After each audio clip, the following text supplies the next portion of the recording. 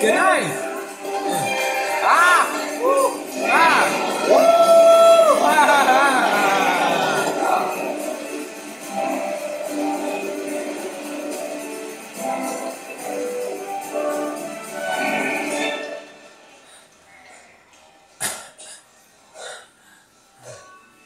no de él jamás ha tenido.